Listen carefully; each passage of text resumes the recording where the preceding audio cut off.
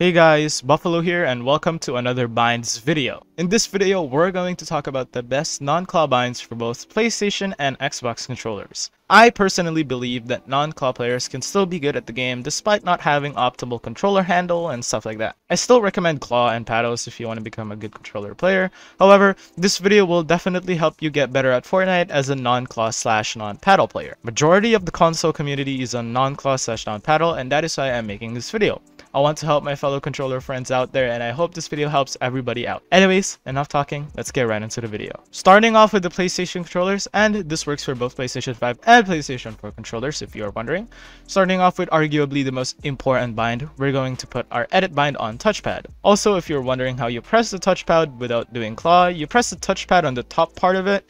Here's a clip of Ken Beans showing how to press it press the button from the top with my pointer finger instead of pressing it with my thumb on the center over here. Moving on with switch mode, let's put that on left stick to optimize our switch mode. Having an optimal bind for switch mode allows us, you know, to build quick, especially when you are getting shot. Having to move your finger to press your switch mode button takes a ton of extra time and you don't want to be chunked out before you can even place a wall. For pickaxe, I recommend triangle like every other controller player out there. Our jump should be on right stick because if it is on X or on another bind, you'll have to move your thumb away from your joystick, which is just very unoptimal. For crouching and sliding, place it on X. They should normally stay on the same bind. For reloading slash interacting, we're going to keep that on square.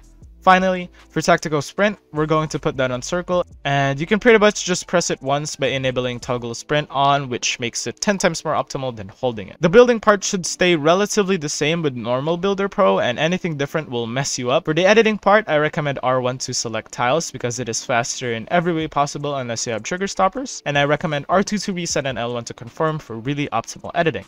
You can keep edit on release off with these binds because you're using your triggers to press the editing binds, which makes it easier for you to edit without edit on release being on. Moving on to the Xbox controllers, I recommend having left stick on your edit first and foremost because it is the universal bind for editing on controller. I recommend Y for switch mode because it is a lot easier to press and you can time your builds easier with it if you want to pull out your pickaxe.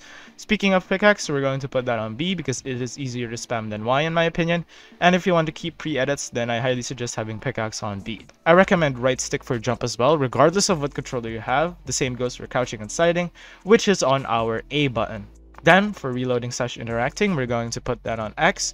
For tactical sprint, we're going to put that on our select kind of button. I don't really know what you call that button.